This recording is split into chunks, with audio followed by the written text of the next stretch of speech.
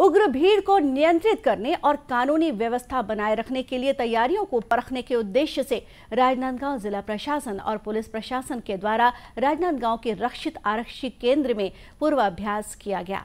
इस mock drill में police के ही जवानों की एक टुकड़ी आम जनता के रूप में बनाई गई।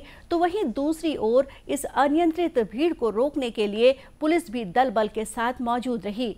आंदोलनकारी पुलिस द्वारा लगाए गए बैरिकेड को तोड़ते हुए आगे बढ़ना चाह रहे थे, तभी पुलिस के द्वारा वाटर कैनन का उपयोग कर भीड़ को आगे बढ़ने से रोकने का प्रयास किया गया। वहीं अश्रु गैस छोड़कर भीड़ को खदेड़ने सहित लाठीचार्ज की स्थिति निर्मित होने पर लाठीचार्ज करने के तरीके और घायल व्यक्ति को त्वरित उपचार की व्यवस्था सुनिश्चित करने पूर्वाभ्यास किया गया। इस पूर्वाभ्यास को लेकर Rajnandgaon additional collector C L Markande ने कहा कि कई बार भीड़ को नियंत्रित करने के दौरान कुछ खामियाँ सामने आती हैं।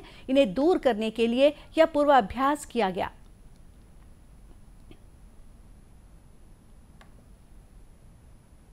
जहाँ पर भी कानून व्यवस्था बिगड़ती है या कानून व्यवस्था की स्थिति बनती है उसे किस तरीके से जो है निपटा जाए और उसके लिए हमारी क्या तैयारी होनी चाहिए। सबसे बड़ी चीज़ यही है कि हम उससे निपटने के लिए हमारी तैयारी पूरी होनी चाहिए।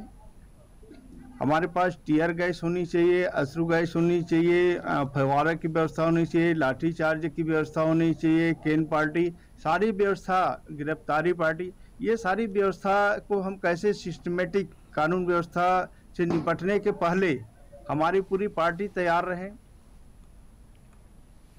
इस पूर्वाभ्यास के दौरान जिला प्रशासन और पुलिस प्रशासन के वरिष्ठ अधिकारी भी मौके पर मौजूद थे।